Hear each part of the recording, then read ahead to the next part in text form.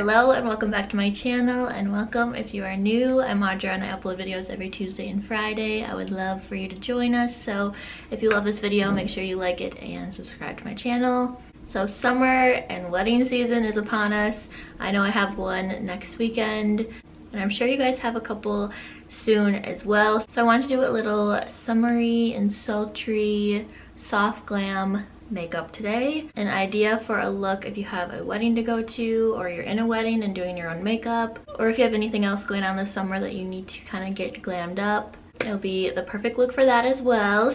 So let's get into it.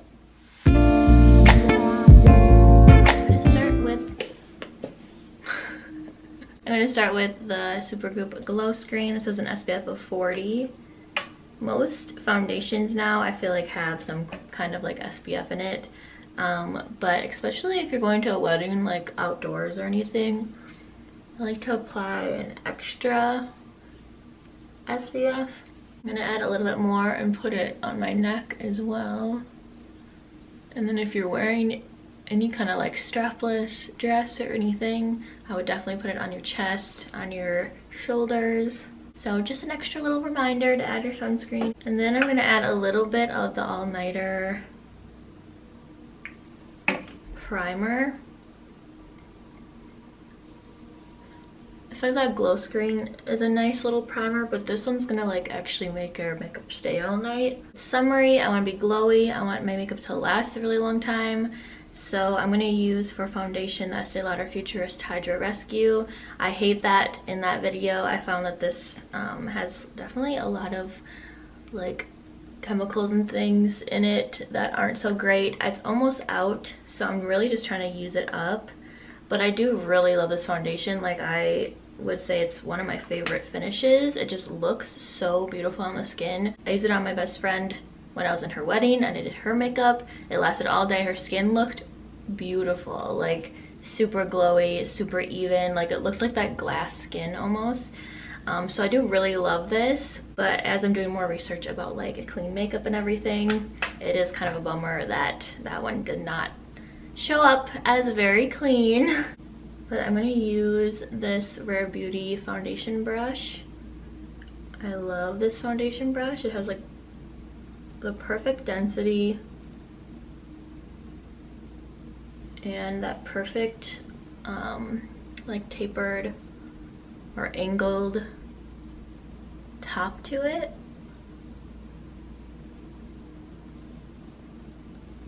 Just makes just makes applying foundation, especially like a thicker, more full coverage foundation like this one, it's really like easy and seamless.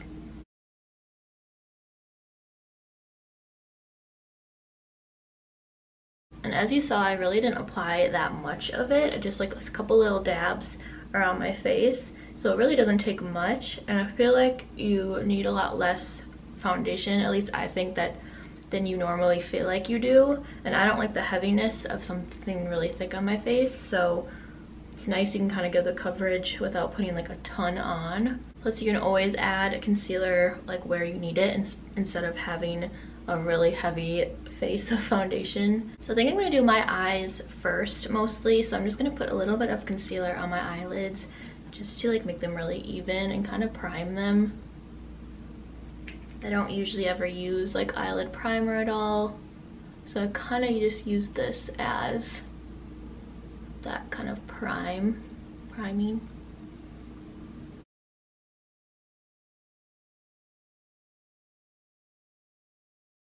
And I'm going to take a little bit of powder. This is the Ilia powder that I've been obsessed with and just set my eyelids. I don't like when they're like tacky. I know that can help to adhere your eyeshadow to your lids, but I like the blendability of having it set and nice and like matte with powder first. Just my preference. And then for shadow, I think I'm gonna pull out the Urban Decay Naked, like the original one. I don't think this is even available anymore, but I know a lot of people have it. Plus, you can literally find so many very, very similar to this. Um, just a neutral palette. And I'm gonna take Buck, which is like a deeper taupe. It's a matte shade and I'm just gonna put that in my crease just to add depth and a little bit of like a shadow.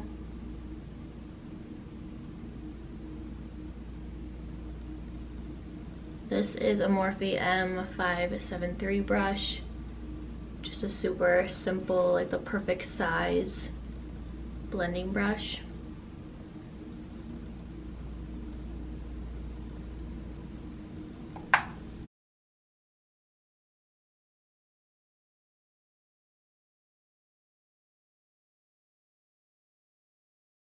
Whatever is excess on the brush, I'm just going to bring it underneath.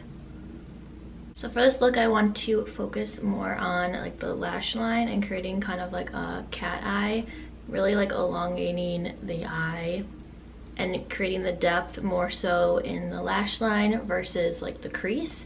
So this is pretty much all the shadow I'm going to be putting on like in my crease. I'm going to take Dark Horse. It's like a very cool toned, almost like gray brown. And this is just a little pointer brush.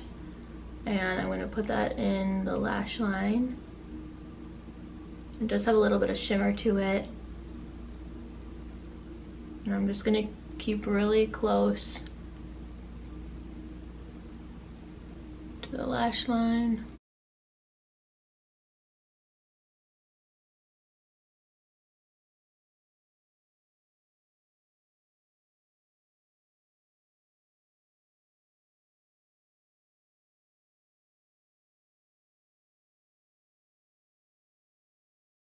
So it's basically just a liner with eyeshadow. And I'm going to take more of an angled brush, it's a really skinny little angled brush, and go in with that same shade. And just create a little bit of a cat eye, because I'm going to be adding liquid eyeliner on top of this. So I want to elongate, like I said, my eyes.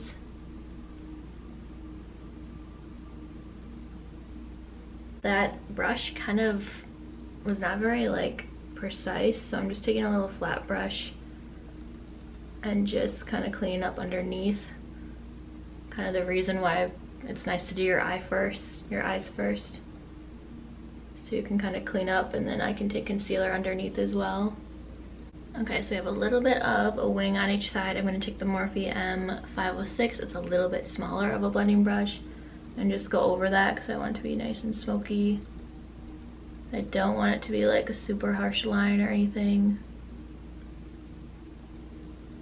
I want these to be kind of sharp underneath so they're a nice wing, but I don't want like on the top to be very harsh. I'm gonna take that dark horse color again and put a, a little bit on the outer like half underneath my eyes.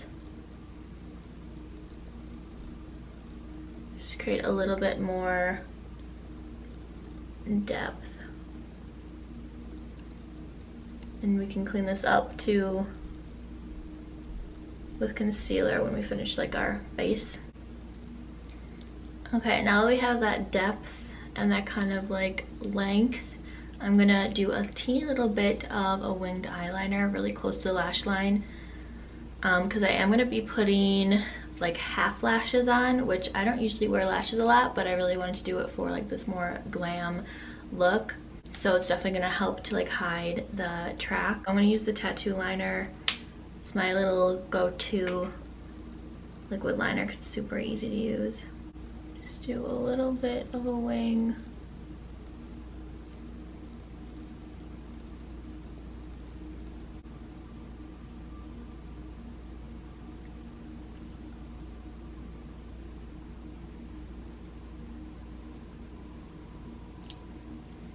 Plus I feel like whenever you're going to an event or anything, you can't go wrong with a little bit of a wing because I think it looks really pretty in photos as well.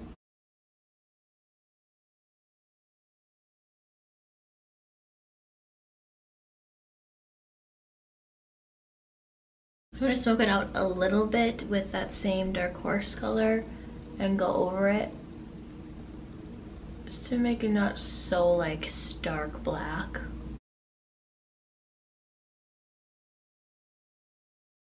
And it makes it like really pretty and shimmery too.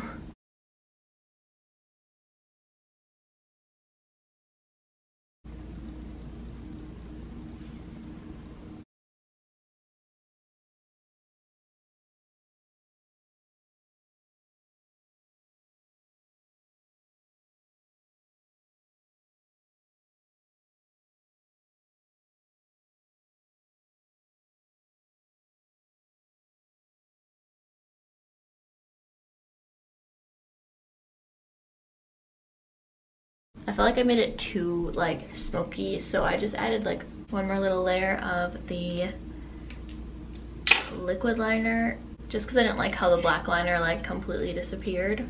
And then I'm gonna add some little half lashes. I just have the Ardell Wispies, super common lash, but I'm going to cut them in half and then just apply them to like the outer half of my eyes.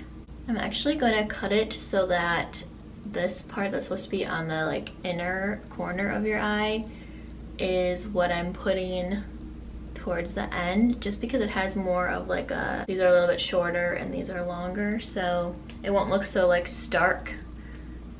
Really long ones towards the end of my lash. I don't know I've no, I don't know if I've ever actually done this but that's what kind of makes sense to me in my head so I'm gonna apply the lash glue I just have the little duo one and I like that this one has the little brush on it so it makes it really easy to apply it onto the lash. And while that's getting a little bit tacky, I'm gonna curl my lashes.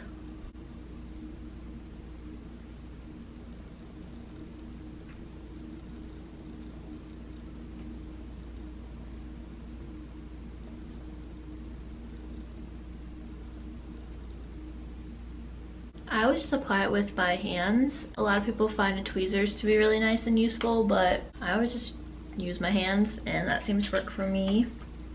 So now I'm just gonna go ahead and apply the other one. Now applying it like as far out from my eyes as possible so that I can really get that like cat eye look.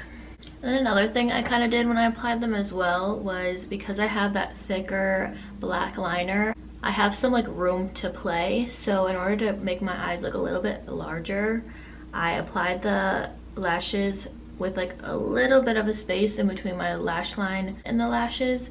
Usually when you apply lashes, you try to get them as close as possible to your lash line, but since these are just like little half lashes and I have that like kind of depth and that thicker black liner, I was able to put a little bit of space so it's kind of lifting and making my eyes appear a little bit larger.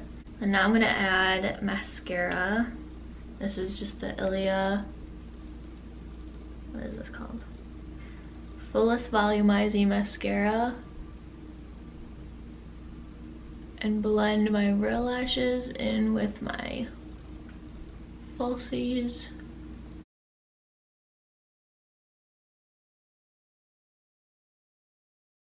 I'm gonna focus this layer towards the very like edges of my lashes to lengthen them so that I don't have any like stark difference between the falsies and my real lashes so it's not like obvious that I have only like half falsies on. Okay, those are the eyes for now. I'm going to do the rest of the face finally and hopefully this will all kind of come together then. This is the Kosas concealer. Nice and bright brightening concealer.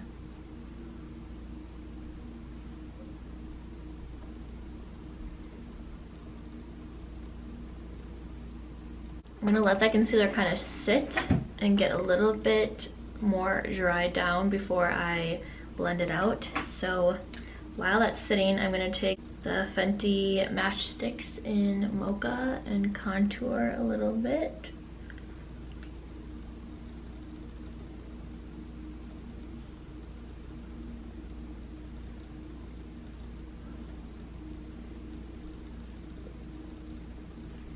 I'm going to use this IT Cosmetics. It's actually a foundation brush. I think it's called like blurring foundation.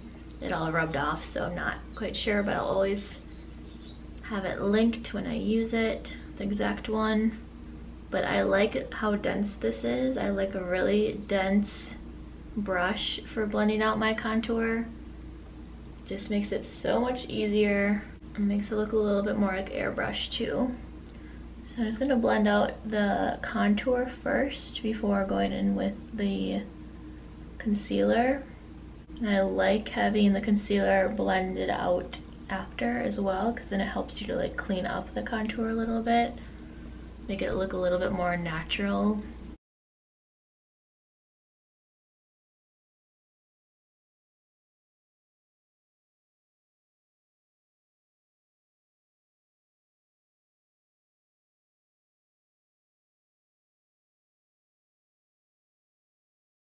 Okay, and I'm going to take that Rare Beauty foundation brush again and blend out the concealer.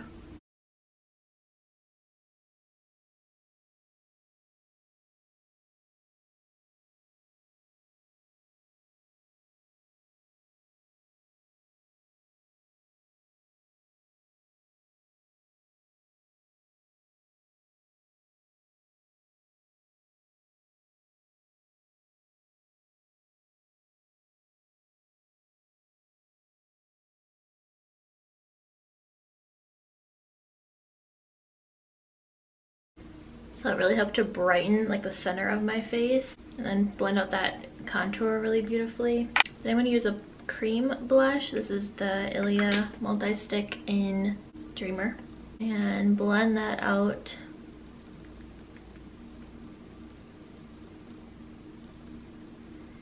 I didn't really want to, I wanted to be more sultry so I didn't want to go with like a pink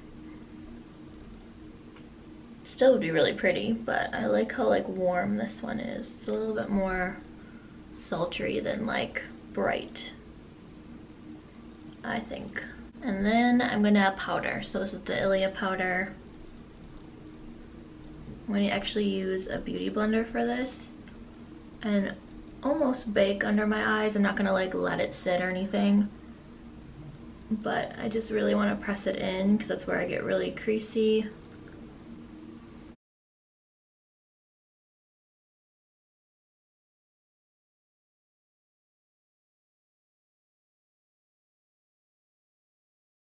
So I'm definitely down my T-zone I'm doing this and then I'm going to do a little bit on my cheeks but I'm not going to do over my contour or like my blush or anything. I'm just going to be setting it with a powder bronzer. This is the Ilia bronzer in Dawn In and a little IT Cosmetics. I think it's called like the Ultra Ultra Ultra Plush brush. But so I'm kind of just using that as like my setting powder to set the bronzer. Just a nice little layer of this.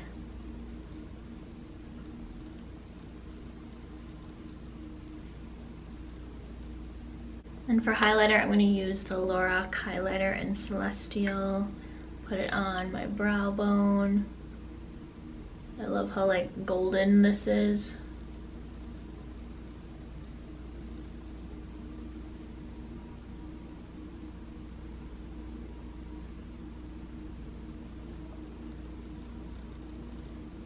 Been back on my highlighter game. Kind of like was just like interested in it for a while, just not like caring if I added it, but now I really feel like it levels up your makeup. I think I'm gonna add a little bit on my lids. Just feel like I need a little bit of sparkle. I'm liking like the sultriness of my eyes, so I don't want to add too much feel like I need a, need a little bit of glow. For brows, I'm not going to do too much, but I do want to fill them in a little bit just to match like the intensity of my eyes. So I'm just going to take the Anastasia Brow Wiz and fill in any sparse areas.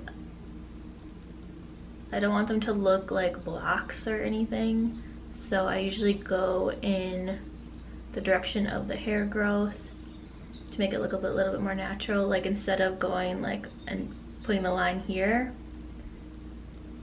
to make like an outline, I'm more so just filling in the hairs and going with the brow hair direction, if that makes sense.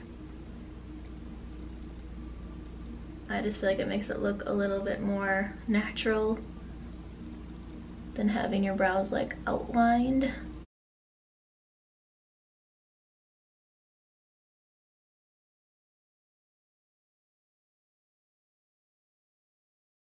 And then I'm going to go in with the Boy Brow from Glossier and add that like fluffiness. This does have some color in it. I believe I have it in medium brown. Or mine just says brown.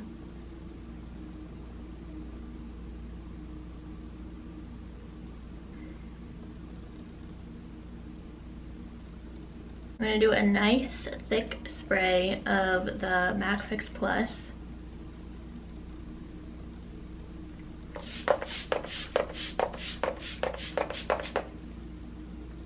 Like basically shower in it. Because I find that like, that's really what helps it stay really long. And last for lips, I'm going to use the Anastasia Deep Taupe Liner with the MAC just taupe lipstick. Really pretty like deep sultry reds. I've used this combination before and I just thought it'd be perfect for this look.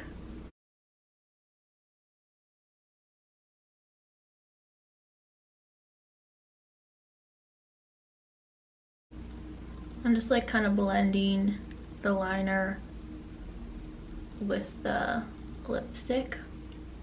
That is the finished look. That is the finished look. I got a little nervous there in the middle because I thought I was messing it up, but I think we got there in the end. I like to have the sultriness kind of more so on the lash line rather than like in my crease. I just feel like for my eye shape, I just like it a little bit more. Definitely let me know what you guys think in the comments below. As always, everything that I use will be linked in the description box below. Thanks so much for watching and I'll see you on Tuesday for another video.